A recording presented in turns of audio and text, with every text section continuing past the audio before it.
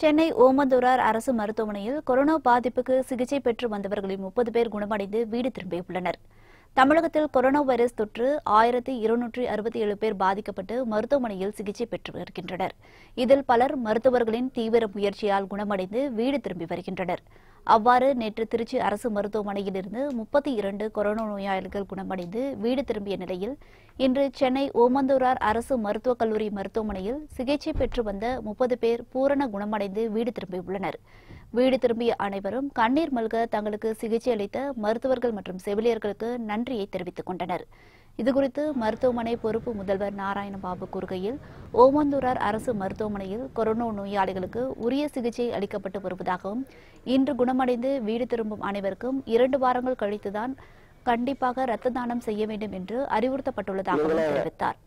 இவர்களின் ரத்தத்தில் இருந்து பெறப்படும் உயிரணுக்கள் மற்றும் பிளாஸ்மா முறையில் மற்ற கொரோனா நோயாளிகளுக்கு சிகிச்சை அளிக்க உள்ளதாகவும் கூறினார். வெளிநாடுகளில் சிறப்பாக பின்பற்றப்படும் இந்த பிளாஸ்மா முறை சிகிச்சை மூலம் இனி பெருமளவு கொரோனா நோயாளிகள் குணமடைய வாய்ப்பு உள்ளதாகவும் தெரிவித்தார்.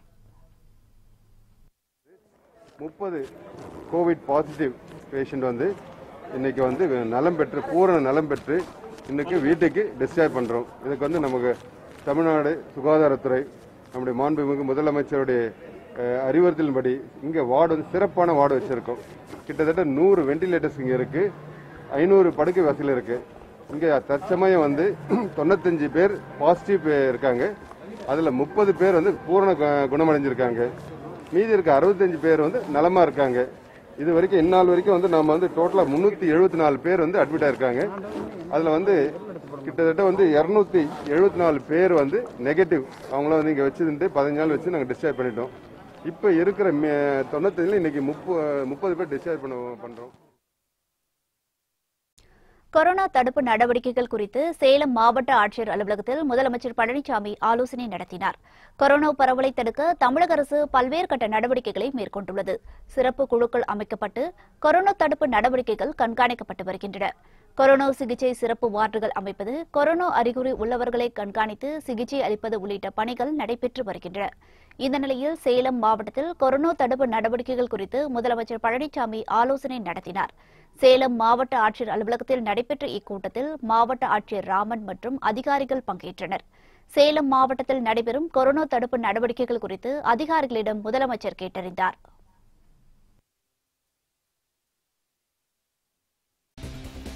கொரோனா தாக்கத்தால் துணி ஏற்றுமதி வெகுவாக சரிந்துள்ளது. பல்வேறு தொழில்கள் முடங்கியுள்ள நிலையில் கொரோனா துணி ஏற்றுமதியும் விட்டு வைக்கவில்லை. ஊரடங்கால் ஜவுளி நிறுவனங்கள் இயங்கவில்லை. இதனால் துணி ஏற்றுமதி இந்த நிதியாண்டில் ஆறு சதவீதம் சரிந்துள்ளது. குறிப்பாக மார்ச் மாதத்தில் ஏற்றுமதி முடங்கிவிட்டது. அக்டோபர் மாதத்தில் தான் துணி ஏற்றுமதி பழைய நிலைக்கு திரும்பும் என புள்ளி விவரங்கள் தெரிவிக்கின்றன. இந்த நிலையில் இந்த துறையில் ஈடுபட்டுள்ளவர்கள் ஜவுளி நிறுவனங்களுக்கு மத்திய அரசு சலுகைகள் வழங்க வேண்டும் என்ற கோரிக்கையும் எழுந்துள்ளது.